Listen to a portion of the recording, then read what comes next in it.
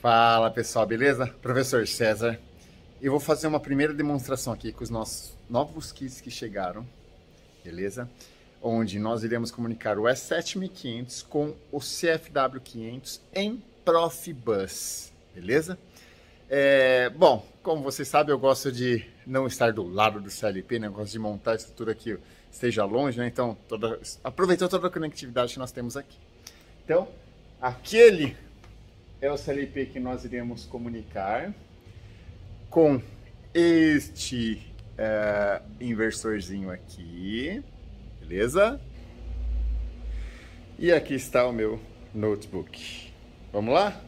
Então, pessoal, para começar, nós temos que ter, que ter, toda a estrutura aqui do Chain Portal já montada, o 7500, nós estamos CPU 1516 aqui, beleza? Uh, primeiramente, tem que baixar o GSD do site do fabricante ok? Da, do site da VEG. Eu já baixei aqui o, o GSD, coloquei aqui na rede já, tá vendo? O arquivinho GSD dele. Depois eu posso colocar um link aqui na descrição para vocês baixar se quiser, tá vendo? O GSDzinho dele aqui. Baixei no site próprio da Google. É, é, GSD, CFW500, Profibus, já tranquilo. Beleza? Aí eu tenho que instalar. Venho aqui, GSD, procuro onde está o arquivo, seleciono a pasta e apareceu aqui, tá vendo? Ele está falando que já está instalado. Só clicar aqui, ó, e instalar. E ele vai instalar, tá? Vou colocar aqui para instalar de novo. Olha só, pessoal, já instalou. Aqui é o que eu criei. Vamos lá, aqui, ó, onde que ele está? Aqui, ó, Other Field Device, Profibus DP, Drives, VEG. Aqui, ó, Aí só arrastar para cá. Você pode selecionar o mestre dele, ó, colocar aqui o PLC2. Colocar o endereço dele aqui, endereço 6. O endereço dele na rede é 6. Beleza? Aí mais uma coisa eu tenho que fazer aqui. Montar a estrutura de palavra de comunicação dele.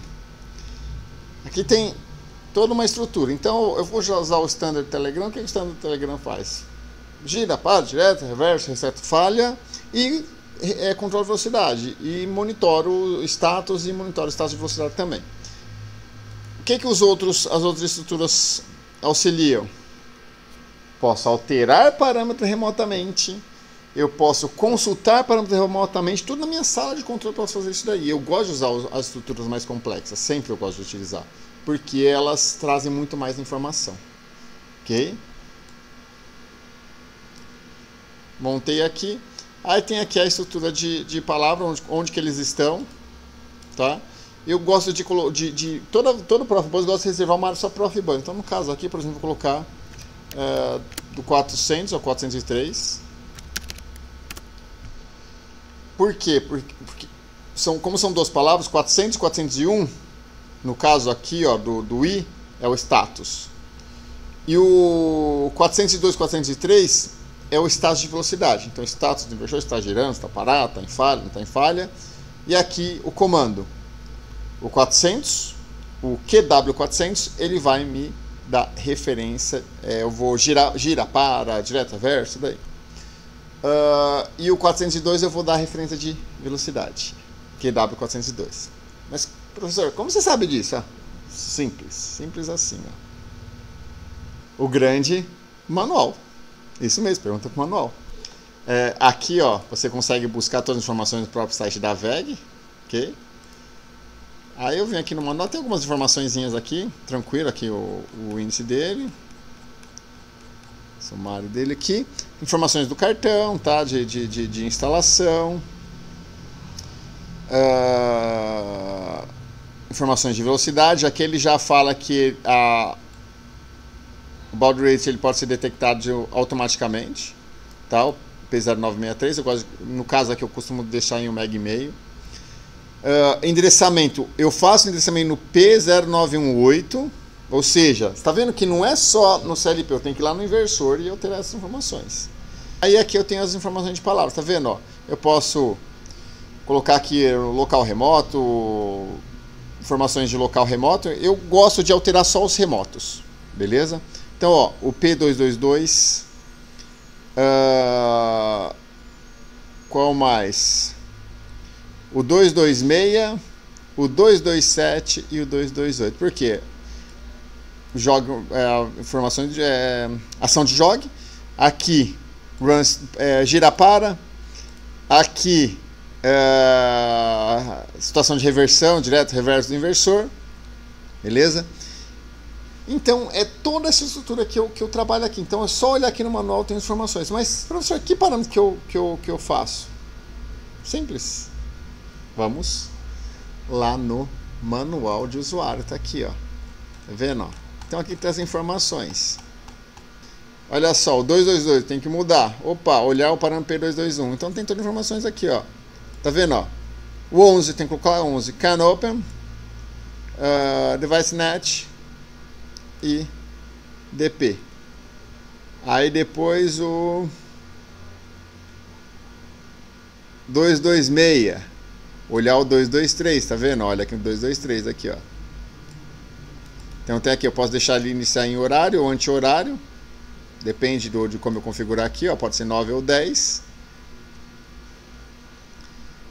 O 227 e o 228, olha lá. Olhar o parâmetro 224 aqui, ó. Tá vendo, ó? colocar 4 e 5 aqui no seleção de choque, beleza? Vamos dar uma olhada como ficam os parâmetros lá do inversor? Olha lá, pessoal. Então aqui, ó, eu venho aqui no, no menu, tá?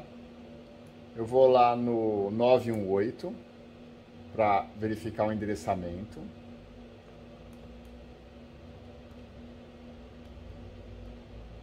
Ó, endereço 6 beleza? Aí no 222, isso é padrão VEG, né? Esse endereçamento, isso que é bem legal, a estrutura dele que tá aqui é bem legal. Então, ó, 11, o 226, 9 e o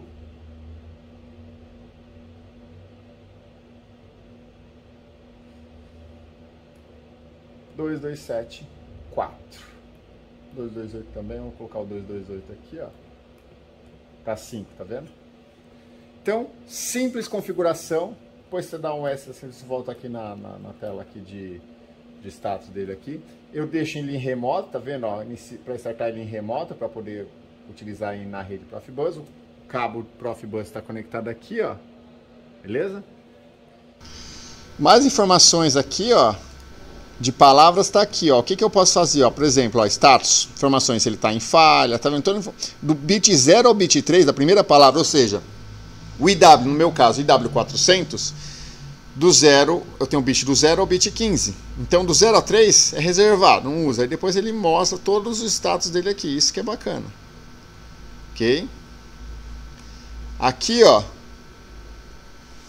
a velocidade do motor, aqui eu acerto a velocidade do motor, é, como ele utiliza o padrão 13 bits aqui, ó, uh, de resolução, aqui, então 08192 é a minha referência de velocidade.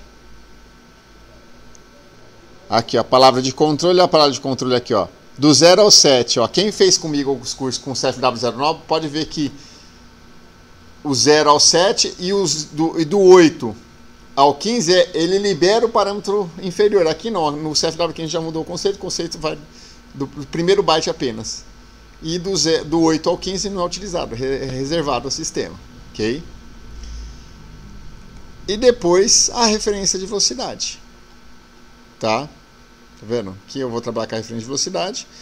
E depois eu tenho as informações que eu posso trabalhar com outras palavras. Mais pra frente eu faço um para trabalhar com outras palavras no inversor, mas agora já dá para trabalhar legal já.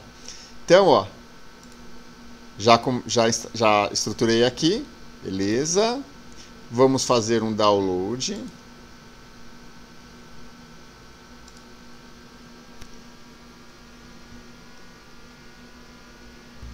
Se deu tudo certo, só eu vim aqui dar um Go Online. É para ele estar sem erros. Olha que maravilha, olha que coisa linda, olha. Hã? Agora vamos testar. Vamos testar agora, professor. Bom, posso fazer o programa ou simplesmente, ó. Vou vir aqui, ó. Adicionar um watch table, vou colocar ó, IW400 status IW 402, QW 400 e QW 402. Lembre-se, o QW escreve, o IW lê. Então aqui, ó, como é status, vou dar um vou dar em, em binário decimal, binário que eu vou mandar os, os, os comandos, que decimal que eu vou dar, mandar referente velocidade.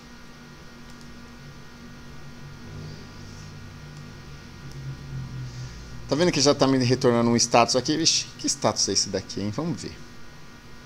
Aí vem aqui, ó. O próprio manual tem as informações aqui. Tá falando se ele está em local em remoto. Está em situação remota, ele está informando aqui. Então vamos lá, vamos partir ele. Vamos lá, vamos lá ver, vamos ver, ó. Vamos dar velocidade máxima? Vamos lá, né? 192.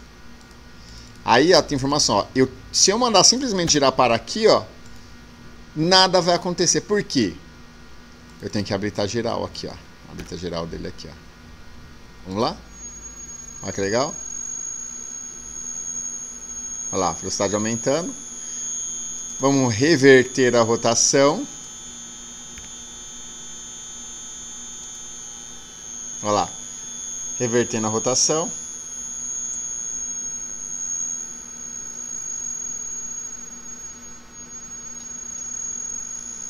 Legal, né, pessoal? Bom, era isso que eu queria mostrar para vocês. É, é, extremamente simples trabalhar com, com essa estrutura de palavra, tudo. Às vezes tem um pessoal tem um, é, se complica um pouco, mas não é, não é difícil. É questão de prática. Vem fazer um, um treinamento com a gente aqui e vocês vão brincar com nossos novos brinquedinhos aqui na sala do laboratório nosso lindo. E curtam, compartilhem com os colegas, ok? Tchau, pessoal!